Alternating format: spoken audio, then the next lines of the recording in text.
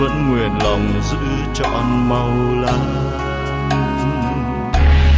kính lại thầy hôm nay chúng con về đây nghe chuông chùa vòng ngân cùng bên nhau nhất tâm cuối xin chư phật nương thuyền từ bến mê vượt qua. Kính lại, thầy dù nguy nan oan khiến dù thân tâm đau xót, chúng con vẫn một lòng, chúng con vẫn bền lòng, chúng con vẫn nguyện lòng, vẫn nguyện lòng giữ trọn niềm tin. Cho chúng ta một cái thời nói chuyện, một buổi nói chuyện rất đặc biệt với đề tài dưỡng sinh. Tuy nhiên, trong những bài đề tài dưỡng sinh ấy, thầy đã chuyển hóa tinh thần dưỡng sinh đi rất là gần rất là sát, chẳng những với đời sống, về để nuôi dưỡng thể xác, làm sao cho khỏe mạnh, mà trong đó vẫn có phần để chúng ta có thể nuôi dưỡng được vấn đề tâm linh. Và thể theo là yêu cầu của số đồng phật tử, và cũng như thể theo à, nhà ý của thầy quý phật tử muốn nghe đề tài nào thì thầy sẽ giảng cho đề tài ấy. Tuần rồi vì cái nỗi lòng khao khát muốn được nghe dưỡng sinh bởi lẽ Phật pháp đã được nghe rất nhiều các thầy à, khác đã giảng trong nhiều điều kiện nhiều băng giảng nhiều nơi tổ chức vân vân. Nhưng đề tài dưỡng sinh dường như chỉ cho tới giờ này chỉ có mình đại đức thích tuệ hải à, nói chuyện. Vì vậy trên à, bà con chúng ta đã được thầy cho nghe về đề tài dưỡng sinh trong tuần rồi tại Sydney. Và sau đó suốt cái tuần lễ qua thầy tuệ hải đã đi giảng tại Brisbane và bây giờ, thầy trở lại Sydney với những thời khóa giảng được tổ chức luân phiên lần lượt như sau. Hôm nay, thứ ba 28 tháng 4 năm 2009 tại Benta Sport Club này, chương trình sẽ dự trù vào lúc 7 giờ đến 9 giờ, đó là theo dự trù. Tuy nhiên vì chờ đợi bà con đến chưa được đông lắm và chúng tôi quyết định là chờ thêm 5 phút nữa. Buổi diễn giải sẽ được chính thức và cũng để duy trì tinh thần rất dễ thương của người Việt đó là chờ đợi nhau cho đầy đủ. Để chúng ta khai mạc từ ăn uống cho tới diễn giảng thì vẫn là một cái thói quen rất đẹp của người Việt chúng ta. À, không có gì xấu hổ với sự trễ nải chờ đợi chút đỉnh đó. Và thưa toàn thể quý vị cái điều thứ hai nữa là à, vào ngày mai thứ tư 29 tháng 4 lễ chính thì cũng ngay tại hội trường này cũng từ 7 đến 9 giờ hoặc có thể trễ hơn tùy theo tình hình à, đại đức thầy Tư Hải sẽ dành riêng cho một buổi tâm đàn. Không có làm một buổi thuyết giảng thường tuyến như hôm nay nhưng sẽ là một một buổi tâm đàn. Có nghĩa là để dành trực tiếp cho quý vị nào có những câu hỏi đáp thưa gửi cùng với thầy. Và trong tâm tình của thầy trò à, thầy sẽ có những sinh hoạt gần gũi để nói chuyện cùng quý vị vì vậy chúng tôi xin thưa ngày mai cũng tại hội trường này từ 7 đến 9 giờ tối sẽ được trân trọng thông báo cùng toàn thể quý vị và đặc biệt nhất là vào thứ bảy này mùng 2 tháng 5 lễ chính và buổi sáng thứ bảy mùng 2 tháng 5 lúc 9 giờ 30 sáng Đại Đức Thích Tuệ Hải sẽ có phần sinh hoạt với các thiền sinh của thiền đường vô ưu tại số 6 The Fraser Street, Caliban. Thưa quý vị, à, có một số yêu cầu của một số đồng hương Phật tử. Cũng muốn tạo một số duyên lành với Đại Đức Thích Tuệ Hải và có ngại xin thầy tổ chức cho để xin được quy y cùng với thầy? Nên đúng ra là quy y tam bảo, với sự chứng minh của thầy thì đúng hơn. Và muốn tạo một duyên lành với thầy Tuệ Hải, do đó thầy đã hoan hỷ nhận lời yêu cầu của số Phật tử. Nhân đây chúng tôi xin thông báo với quý vị. Quý vị nào muốn nhảy quy y tam bảo với sự chứng minh của Đại Đức Thích Tuệ Hải, xin quý vị có thể liên lạc với ban tổ chức hoặc liên lạc với thiền đường vô ưu vì buổi lễ truyền tam quy ngũ giới sẽ được tổ chức tại thiền đường vô ưu vào sáng chủ nhật mùng 3 tháng 5 lễ chín chúng tôi sẽ được trân trọng thông báo cùng toàn thể quý vị về à, những tinh thần vừa mới được nảy sinh do yêu cầu của số quần chúng Phật tử. Và kế tiếp đó là vào ngày Chủ nhật mùng 3 tháng 5 lễ 9 vào lúc 1 giờ đến 4 giờ chiều tại Kapramata Leisure Center tức là hồ bơi của Kapramata sẽ là buổi nói chuyện thứ hai mang tính chất buổi chung mở rộng của thầy Tuệ Hải chúng tôi xin nhắc lại, còn bốn bữa sinh hoạt nữa, đó là vào tối nay, tại đây, và tối mai cũng tại thiên giảng đường này. Và thứ bảy, buổi sáng tại thiên đường Vũ Ưu buổi chiều tại Kabramata Laser Center, từ 1 giờ đến 4 giờ chiều. Chủ nhật buổi sáng lễ quy y Tam Bảo truyền tam viên ngũ giới cho Phật tử muốn gieo duyên cùng thầy Tuệ Hải được tổ chức tại thiền đường Vô Ưu số 6 đường Fraser Street, uh, Cali 2, à, xin lỗi Calivell. Yeah. Và dạ. ờ, quý vị nào mà phân vân chưa biết thiền đường Vô Ưu ở đâu thì chốc xíu nữa có thể liên lạc với ban tổ chức để xin được rõ địa chỉ của thiền đường Vô Ưu đến cơ quy y Tam Bảo cùng với thầy Tuệ Hải và sau buổi thuyết giảng ngày chủ nhật là hoàn tất chuyến hoàng pháp bốn tuần lễ vừa qua tại úc Trần và chúng tôi xin thưa và cùng toàn thể quý vị một trong những địa chỉ quan trọng mà quý vị có thể liên lạc với thầy Tuệ Hải đó là website của chùa Long Hương. Chúng tôi xin lặp lại lần trước chúng tôi lục cục đã nói lộn chữ Long Hương thành Long uh, Hương Long dạ đó là địa chỉ www chùa Long Hương. Xin lặp lại là chùa Long Hương. TT2 có nghĩa là thích tuệ hải viết tắt. Đọc lại, chùa Long Hương tt2.com.vn quý vị vào website thì sẽ có được những à, bài thuyết giảng quý báu có thể Tuệ Hải cũng như chúng ta theo dõi được tất cả những sinh hoạt, Phật sự của chùa Long Hương. Thưa quý vị, ngôi chùa Long Hương là một trong những ngôi cổ tự rất là lâu năm của à, tỉnh Đồng Nai. Và ngôi chùa đã qua nhiều nét thăng trầm. Sau mấy trăm năm thăng trầm thì bây giờ đã được chiếm trệ.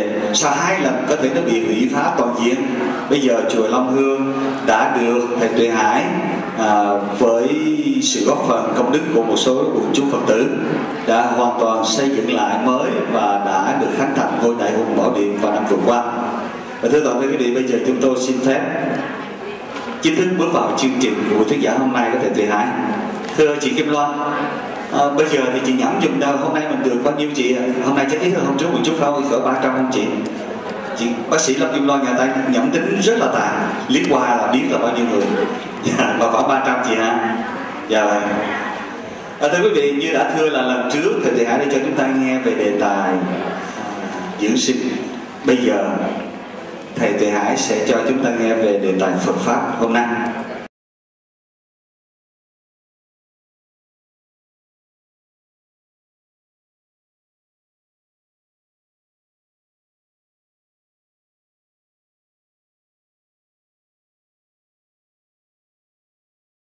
Yeah.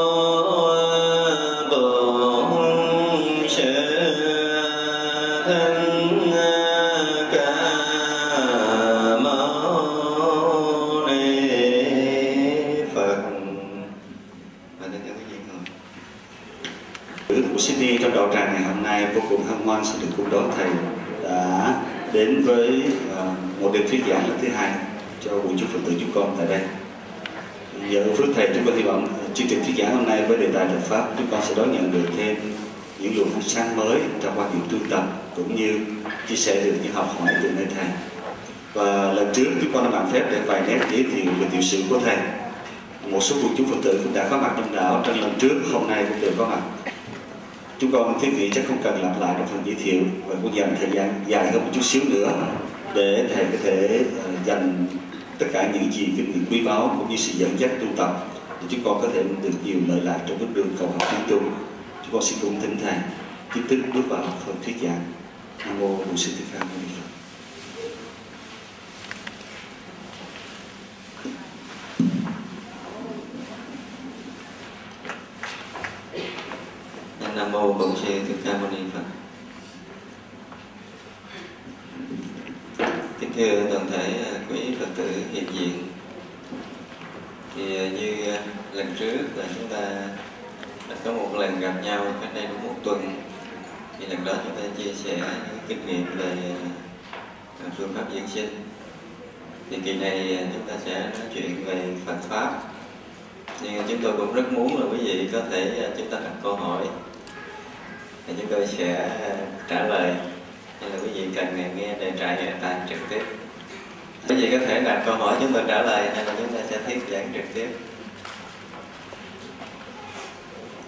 Giảng à, chúng ta thích như thế nào?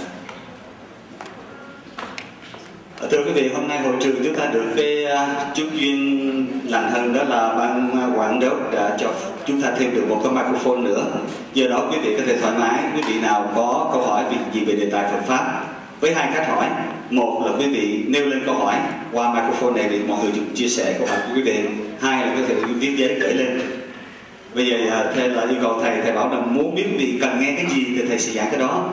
Quý vị có điều gì cần thỉnh nguyện trong câu hỏi hoặc là những thỉnh nguyện đề tài giảng dạy xin mời quý vị. Dạ xin mời chị Quỳnh Mùi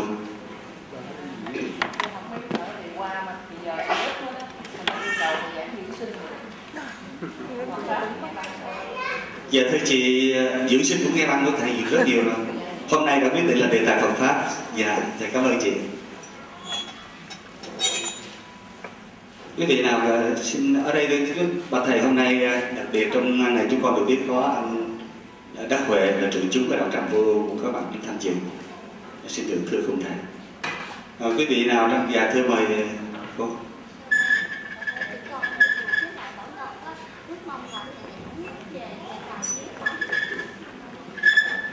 Dạ thưa một Phật tử có thỉnh nguyện xin Thầy giảng cho đề tài kiến tánh. Đề tài kiến tánh. Dạ, Cảm ơn Thầy.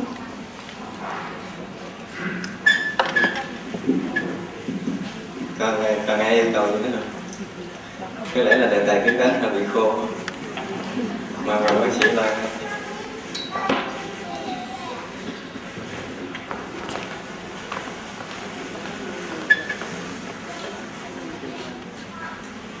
mô bổ sư Thích Ca Mâu Ni Phật. Kính bạch thầy, um, con nghe nói là cái thời này là thời mạt pháp và có thể lòng tin của Tam Bảo bị lung lai, lòng tin của các Phật tử về Tam Bảo bị lung lai. Thì con kính xin thầy uh, có thể đêm nay dành một chút thời giờ để giảng về uh, cái lòng lòng tính tâm vào Tam Bảo, Phật pháp tâm. Um, làm sao để cho chúng con biết là mình gặp đúng chân minh sư để mà theo học đạo vô Phật. Nghe giờ đã chứng đồng ý thầy tài này Có hai yêu cầu, một yêu cầu là sẽ nói chuyên đề về cái chuyện kiến tánh Tức là cái này nó chuyên về thiền rồi đề tài thứ hai như bác sĩ Loan vừa trình bày thì quý vị đồng ý chúng ta sẽ chia sẻ đề tài nào? Đề tài thứ hai thôi. Cả hai luôn.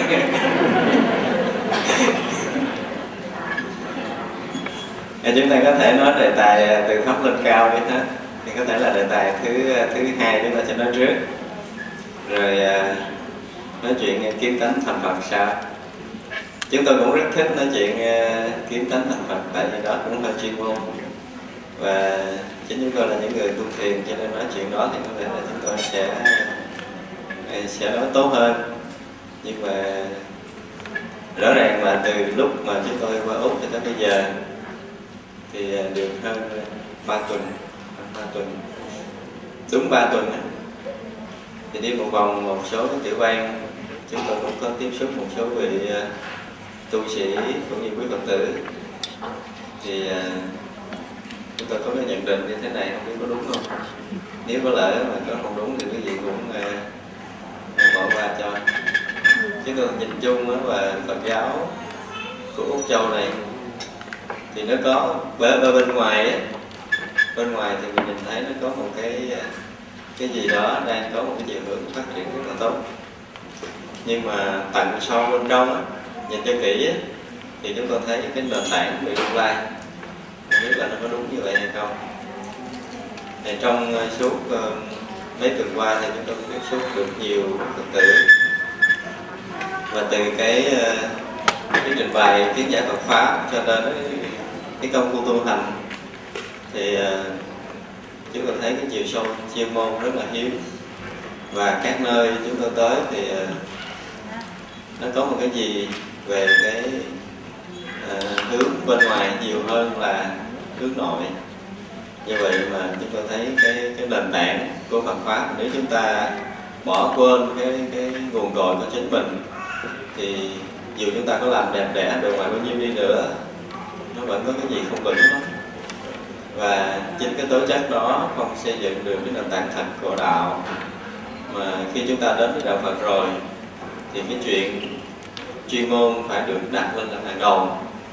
Và muốn được như vậy thì chúng ta cần có một cái, thứ nhất là chúng ta cần có một môi trường chuyên môn tu tập. Thứ hai là phải có một đạo sư thực sự chuyên môn. Và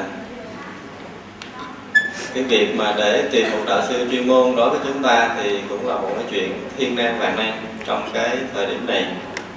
Bởi vì chính chúng ta chưa có đủ cái cái sức để có thể minh định đâu là chánh đâu là tà và cũng chưa đủ trí tuệ để có thể nhận định người thầy này có đủ chuyên môn để hướng dẫn chúng ta tới giác ngộ giải thoát hay chưa. Cho nên là chúng ta có thể bị lầm lẫn và chúng ta có thể theo học một số vị nhưng một thời gian chúng ta phát hiện là vị này không đủ chuyên môn. Và là theo một cái dòng pháp nào đó thì tới một cái gần hết một đời mình rồi mình mới phát hiện là cái dòng pháp mà nó không đủ để dẫn dắt mình tới giác ngộ giải thoát. Thì lúc đó chúng ta bị hụt hẳn. Đó là cái mà, mà chúng tôi thấy cái vướng ở không phải tại quốc châu đâu mà chúng tôi thấy các nơi đều có điều này. Chính điều này chúng tôi cũng rất là ưu tư. Chúng tôi hy vọng là chúng ta sẽ có đủ cái duyên lành để gặp nhau ở môi trường thực sự chuyên môn. Sẽ đến với nhau với cái chuyện tu tập chuyên môn để chúng ta có thể thứ nhất là chúng ta sẽ rút ngắn thời gian tu tập trong cuộc đời mình. Bởi vì ờ, thật sự nếu chúng ta mà vẫn còn đi vòng vòng, vẫn còn hướng ngoại để tìm cầu Phật pháp theo cái bề ngoài, thì ờ, đời này chúng ta không có kịp làm gì hết nữa rồi. Chắc chắn là chúng ta không kịp làm gì hết. Ngay cả khi chúng ta bắt đầu đi vào con đường chuyên môn thực thụ, mà chúng ta có tinh tấn tu tập và được một minh sư hướng dẫn, thì muốn đạt đến cảnh giới chi vô trong đạo Phật cũng đã hiếm hoi chứ không phải đơn giản. Do vậy mà khi chúng ta bắt đầu đi học Phật pháp, thì um, điều đầu tiên và hết sức cần thiết cho tất cả chúng ta là chúng ta nên bước vào Phật pháp bằng tất cả những cái trí tuệ thật của chính mình. Mà trí tuệ đó qua sự quán xét, cộng với cái sự hiểu biết, rồi cộng với cái công phu tu hành của chúng ta thì chúng tôi cũng có nói một vài điểm khác về cái căn bản học tập ban đầu. Quý phật tử chúng ta phải nên có một cái chút trầm tĩnh để học đạo. Phải hết sức trầm tĩnh. Vì uh, chúng ta thấy là tất cả những cái mà chúng ta đã được gặp gỡ bên ngoài những cái nhãn hiệu quảng cáo hết sức là hấp dẫn nhưng mà rồi khi mà chúng ta tiếp cận trực tiếp thì có những cái chúng ta cũng phải thất vọng. Thì cái gì cái bề ngoài càng rực rỡ chừng nào thì chúng ta phải trầm tĩnh và nghiệm xét lại một chút. Cho nên học đạo thì có khi ừ, từ cái phát khởi, cái tâm ban đầu của người học đạo ờ, chúng ta nếu mà điều này chúng ta có thể nói là cái cái nhân quả nghiệp báo của chúng ta trong nhiều đời nhiều kiếp. Cái duyên chúng ta gieo cái chánh pháp trong nhiều đời nhiều kiếp, nó có chuẩn mực hay chưa? Đó là cái thứ nhất mà có nhiều khi những người học Phật của chúng ta đến chùa lúc đầu thì chúng ta không hiểu gì đó nhưng mà có đôi lúc chúng ta có những cái chủng duyên trong nhiều đời rồi thì tự động sẽ đưa đẩy chúng ta gặp một, một minh sư. Nhưng mà nếu nhiều đời chúng ta chưa có cái chủ duyên lành đó thì ờ, cái cơ hội để cho chúng ta gặp minh sư rất là hiếm hoi. Là có đôi lúc chúng ta gặp minh sư chúng ta cũng không biết thậm chí chúng ta có thể phỉ bán những vị minh sư. Tại vì cái nhân nhiều đời nhiều mình với cái vị đó nó chưa có từng gieo với nhau. Cho nên cái việc mà kết quyết thuộc bồ đề trong Phật pháp là một cái gì hết sức quan trọng. Vì vậy những người ban đầu học Phật theo chúng tôi là cần nên có cái phát khởi nó rất là trong sáng khi chúng ta mới bắt đầu đến với đạo. Bây giờ thì mình chưa biết cái gì, thì chỉ có một cái tập cầu đầu tiên. Vì chúng tôi đó là khi chúng ta mở cửa hướng nào thì gió hướng đó sẽ thổi tới. Đúng không? Đó là cái mà chúng ta phải thấy. Cho nên khi chúng ta học đạo, chúng ta mở tâm với hướng nào thì chúng ta sẽ kết duyên với hướng đó. Chúng ta mở tâm với cái con đường nào, chúng ta sẽ kết duyên con đường đó. Vì vậy mà chúng tôi nói là cái nhân ban đầu của người học Phật nó quan trọng bậc nhất. Cái khởi điểm đi tìm đạo chúng ta hết sức là quan trọng buộc chúng ta phải rạng lòng cái tâm, chúng ta cho thật kỹ và bắt đầu chúng ta khởi cái phát tâm phát nguyện cho nó chuẩn. Thì à, một vết chấm ban đầu nếu nó thật sự tròn thì nó càng lớn rồi nó càng tròn. Còn nếu vết chấm ban đầu chúng ta nó có một chút gì đó méo mó thì nó càng lớn, nó sẽ càng méo hơn. Thì cái việc học đạo của chúng ta cũng vậy. Nếu cái khởi tâm ban đầu học đạo của mình mà chưa được chỉnh đốn một cách đúng đắn thì chúng ta cứ đi gặp người này, đi gặp người kia với cái nhiệt quyết tu hành của mình. Buổi đầu thì chúng tôi cũng vậy, cũng như quý phật tử, thì ai khởi cái tâm ban đầu thì rất là mãnh liệt, rất là thiết tha. Bởi vì có gì, chúng ta có nhiều lần đã chinh chạm cái cuộc đời này rồi, thì ít nhiều thì gì thì chúng ta cũng đã hiểu cuộc đời này nó là nó là không thật nó là giả tạm. Và chúng ta đã tìm cầu hạnh phúc trong thế gian này đã quá nhiều, nhưng rồi nó cũng đáp lại cho chúng ta những cái không như ý của mình thì cái chỗ dựa của mình lại là tam bảo. Thì bằng cái nhiệt quyết tất cả những cuộc đời của mình dùng hết là tam bảo. Nhưng nếu mà cái khởi nghiệp ban đầu chúng ta nó nó mãnh liệt mà hơi lệch một tí xíu thôi, thì không phải đời này mà mãi mãi những kiếp về sau chúng ta cũng đi lệch. Cho nên cái việc học Phật, cái nhân ban đầu quan trọng, bậc nhất. Thì chúng tôi thấy là nếu như trong Phật tử chúng ta ở đây là ngày nào chúng ta chưa có thực sự nhận ra được minh sư của mình? Ngày nào chúng ta chưa chọn lọc được một pháp môn phù hợp với trình độ căn cơ của mình? Thì chúng ta khoan hãy dụng công. Đối với chúng tôi, cái việc dụng công là một cái gì đó sau một quá trình học hỏi, nghiệm xét. Và chúng ta đến một lúc, hạ thủ công phu là từng bước đi, thì chúng ta phải đi đúng. Mỗi bước là mỗi gần còn nếu chúng ta chỉ cần lệch một bước thôi thì mỗi bước mỗi xa đi. Và rõ ràng chúng ta sẽ bị lệch lạc không phải một đời mà ngàn đời ngàn kiếp trở về sau chúng ta sẽ đi lạc. Do đó à, chúng ta là những người phật tử lâu năm cũng như là những người mới đến với đạo thì chúng ta phải có một cái gì đó trọng tĩnh là một tí nghiệm xét lại cái tâm của mình đang đến với đạo là cái tâm nào. Chúng ta đang đến với tam bảo vì cái gì? Vì sao chúng ta đến với tam bảo? Mình phải tự rạng mình tính. Để coi mình bằng cái tâm gì hiện tại ở đây. Bây giờ mình đã đến chùa rồi, có khi mình cũng đã quy y rồi. Và cũng có khi mình đã từng làm những phật sự lợi ích nhiều người rồi. Thì cái tâm ban đầu chúng ta đến chùa là cái gì? Và bây giờ nó có đi đúng hay chưa? Hay là nó đã bắt đầu lật lạc rồi? Rồi cái vị thầy mình đã đặt cái lòng tin lâu nay vị thầy đó là cái vị thầy giác ngộ giải thoát thực sự chưa? Hay những vị đó còn là những cái vị tu tập bình thường? Và cái trí tuệ, cái đức hạnh và đạo lý người đó đủ có thể dẫn dắt chúng ta tới chân trời giác ngộ giải thoát hay chưa? Thì chúng ta mới bắt đầu giao cái thân mạng mình. Nếu chúng ta chưa gặp được một vị minh sư thật sự, thì cái duyên để chúng ta có thể quy y tam bảo thì chúng ta có thể quy y với bất kỳ vị thầy nào.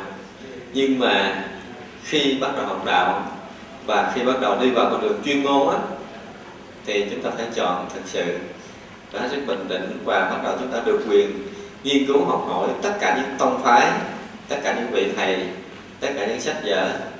Chứ chúng ta đừng có khu biệt mình. Ví dụ như bây giờ chúng ta quy y với một thầy tu thiền, thì chúng ta chỉ nghiên cứu sách thiền thôi. Những chuyện khác chúng ta không cần biết hoặc là bây giờ chúng ta chỉ tu về tịnh độ chúng ta chỉ nghiên cứu tịnh độ thôi mấy cái pháp khác chúng ta không biết. Hoặc là bây giờ chúng ta theo một thầy mật tông quy rồi bây giờ mình không được phép học những Phật pháp khác thì đó không phải. Trong thập quyền phổ hiền chúng ta có một cái gì? Cái cái nguyện thứ tám ha. Là chúng ta sao? Dạ thượng tùy Phật học. Được quyền học tất cả các nơi theo tất cả mọi điều nguyện ờ, thứ nhất là chúng ta nhất giả lợi kính như lai nè, nhị giả, nhất giả xưng tán như lai, nhất giả lợi kính chư phật, nhị giả xưng tán như lai, tam giả quán tu cúng dường, tứ quả sáu có nghiệp chướng qua quả tỳ hỷ công đức, lục giả thành triển pháp luân, thất giả thành và độ thế, bát giả thường tùy học phật. Nhưng phật tử chúng ta chưa có thường tùy học phật. Chúng ta nghe ông thầy đó giỏi, hoặc là có cái gì đó có khi ở đây nói hơi bất lòng là có rất là nhiều người, chứ không phải một hai người. Khi đi vào Phật pháp thì nghe cái vị đó là những vị nổi tiếng là chúng ta sẽ sẽ thân cận, sẽ làm đệ tử. Nhưng chúng ta chưa biết là cái duyên mình với vị nổi tiếng nó có hay không nữa. Thì sau khi quy y với vị đó rồi, để mình mình được cái ghi danh trong một cái ờ, danh sách là đệ tử của vị nổi tiếng thôi. Nhưng còn cái việc học Phật pháp hoặc là cái việc dạy cho vị thầy đó, không biết có phù hợp với mình hay không. Giờ mình cũng không có tự soát lại cái điều này. Rồi mình cũng không biết mình học đạo ra làm sao với, với vị thầy đó nữa. Cuối cùng mình lơ lơ lửng lửng. Và làm như vậy thì nó sẽ làm mất cái thời gian của cuộc đời của chính mình. Cho nên là với chúng ta ban đầu thì khi chúng ta chưa biết điều gì thì rõ ràng giai đoạn tầm sư học đạo vô cùng khó khăn với chính mình. Thực sự mình giống như người mù mà đang đi trong đêm đen này không biết ở đâu là bến đỗ an ổn nhất cho cuộc đời của mình. Và đây là cái điều rất khó cho cái phật tử chúng ta. Cho nên là lúc đầu nếu chúng ta chưa biết điều gì, nếu chúng ta thực sự là chưa biết điều gì, thì chúng ta chỉ khởi phát khởi cái tâm lành của mình là chúng ta nguyện làm sao trong đời này của chính mình. Mình được gặp chánh pháp, được gặp minh sư, để mình nương theo đó mình học hỏi để hiểu biết đúng chánh pháp, để tu tập cho tới ngày được giác ngộ giải thoát. Ban đầu chúng ta cứ giữ cái tâm. Thì chúng ta muốn đi học cái gì thì chúng ta học. Lúc đầu là coi như chúng ta chưa hiểu biết cái gì, và chứ phát khởi cái tâm như vậy, để chúng ta gieo vào trong tâm của mình một cái ý niệm thật sự trong sáng khi chúng ta đến với đạo. Nếu có một cái điều rất là đặc biệt mà chúng ta nhìn về lịch sử Đức Phật, chúng ta thấy Ờ, ngày xưa Đức Phật trước khi xuất gia, Đức Phật ba đặt ba câu hỏi mà hôm rồi chúng ta có nói chuyện ở ờ, trước thì đó là ba câu hỏi rất trọng yếu trong đời của Đức Phật. Tức là khi mà Thái tử Tất Đạt Đa thấy được cái cảnh sinh ra bệnh chết của chúng sanh rồi, thì từ lúc đó ngài bắt đầu không ăn ngon, không ngủ yên. Ngài đặt câu hỏi hết sức quan trọng là tại sao con người ta lại được sanh ra, rồi lớn lên, rồi già, rồi chết? Và có cái gì để thoát khỏi cái điều đó hay không? Đó là câu hỏi thứ nhất mà thái tử Tất Đạt Đa đặt ra trước khi đi tìm cầu chân lý. Và câu hỏi thứ hai là, con người ta trước khi sanh ra ở đâu? Và cái điều thứ ba là sau khi mình chết, mình đi về đâu? Đó là ba câu hỏi hết sức trọng yếu. Tăng ni cũng như phật tử, chúng ta phải thấy, lấy ba cái này làm cái cái trung tâm điểm khi chúng ta bắt đầu tìm cầu Phật pháp khi nào chính bản thân mình trả lời được ba câu hỏi trọng yếu này thì chúng ta mới hoàn thành được cái con đường tầm đạo học đạo của mình. Khi nào chúng ta chưa có đủ cái trí tuệ, giác ngộ để chúng ta hiểu biết được điều này rồi, thì coi như cái việc học đạo chúng ta chưa xong. Và chưa xong thì buộc chúng ta phải hết sức phấn đấu. Nhưng bước đầu chúng tôi nói là cho mỗi người sơ đẳng nhất khi bước vào chùa. Khi bắt đầu khởi cái con đường quay về cố hương của chính mình thì mình nên có cái phát tâm dùng mạnh để tìm minh sư. Mình không biết minh sư đó là ai, và mình cũng chưa chắc gì mình biết cái vị minh sư thật là như thế nào. Nhưng chúng ta cứ phát tâm đó đi. Như hồi đầu chúng ta nói là chúng ta mở cửa nào thì gió từ bên đó sẽ thổi vào. Cho nên khi mà chúng ta phát tâm phát nguyện đi tìm minh sư bằng tất cả những cái thành thật, thành khẩn của chính mình thì tự động chúng ta sẽ kết duyên. Chúng ta sẽ kết duyên. Rất là lùng là trong cái phát khởi tâm lành của chúng ta, cái sự kết nối duyên lành của chúng ta là cũng phải có từ mình một cái gì đó. Giống như bây giờ cái điện lưới quốc gia nó đã kéo ngang nhà mình rồi, nhưng mình không có tiền thì mình mình không khởi ý kết nối thì nó cũng đi ngang nhà mình mình vẫn không có điện để mình xài. Trên trường hợp mình quyết tâm mình muốn kết nối đường điện nó vào nhà thì chúng ta mới có điện, chúng ta xài. Vì vậy là minh sư với chúng ta có rất là nhiều, có ở khắp nơi, chứ không phải là không có. Nhưng mà do cái tâm tập đạo của chúng ta ban đầu nó chưa có rạng lọc hết cái tham sân si, chúng ta chưa có đủ cái quyết tâm để tìm cầu minh sư, tìm cầu chánh pháp. Chúng ta chưa đủ cái quyết tâm đó. Mình thấy bạn bè mình đi chùa thì mình cũng đi chùa thấy mình đã được quy y thì mình cũng quy y. Nghe thầy đó giỏi thì mình cũng tới mình học một miếng thì à, chúng ta cũng gắng dạy lòng vòng, mai mốt sẽ có thầy nổi tiếng khác. Và một ngày nào đó thầy nổi tiếng khác cũng sẽ tới nữa. Thì cuối cùng là chúng ta không biết ai là minh sư thật của mình. Thì cái chuẩn để có thể được gọi là minh sư của chính mình thì rõ ràng là chúng ta không biết phải mò ở đâu cho ra. Thật sự khó, thật sự khó. Tại vì chừng nào chúng ta hiểu một người nào đó, thì chừng đó chúng ta phải tương đương vì đó chúng ta mới hiểu được. Gọi là tương thông hoặc là có một sự thông cảm nào đó thôi. Chứ còn nói mình, bây giờ mình đang học lớp 1 mà mình nói mình hiểu cái người học lớp 10 chúng ta không biết là chúng ta hiểu được.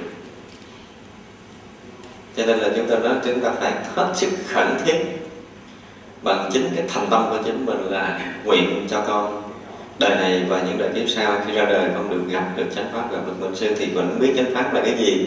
Nhưng đến hồi mình tu tập rất là lâu, cho tới một ngày mà chúng ta đủ cái chánh kiến. Ở trong bát chánh đạo đức phật nó đủ cái chánh kiến thì khi chúng ta đủ chánh kiến rồi, chúng ta lúc đó mới hiểu như thế nào là chân lý.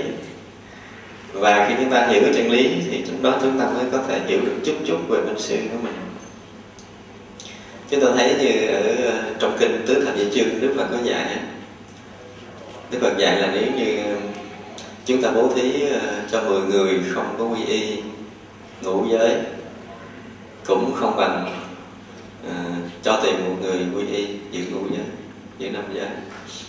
Rồi chúng ta cho tiền cho một trăm người quy y giữ năm giới không bằng chúng ta cúng dường một vị sa di giữ mười giới thì chúng ta có cúng dường một trăm vị sẽ di dưỡng mười giới, không bằng cúng dường vị tỳ kheo, giữ hai trăm năm mươi giới.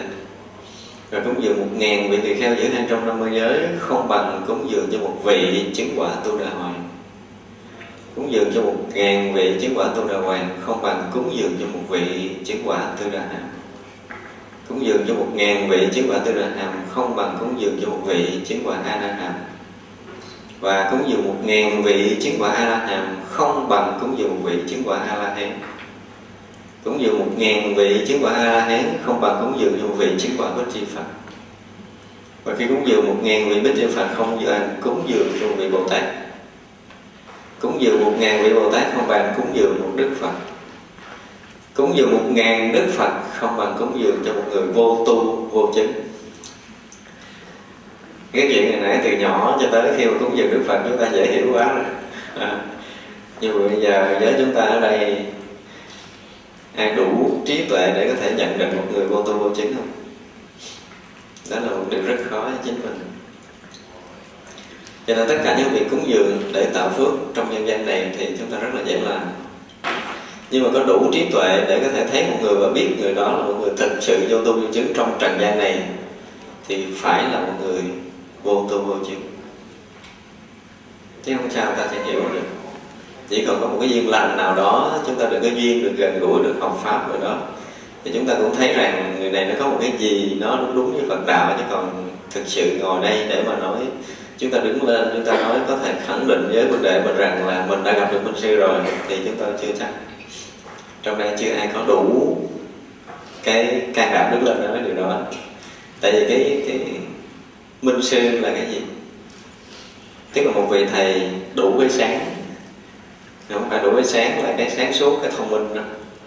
Cái sáng của ngài là người đó là một người thật sự giác ngộ với trí tuệ, không vướng bận bất kỳ một chuyện trong trần gian nữa. Thấu tột chân lý, thấu tột vũ trụ nhân sinh này. Và vị thầy đó đủ sức có thể dẫn đường, không phải là trong cõi mình mà là thầy của trời người, thầy có ba cõi. Thì người đó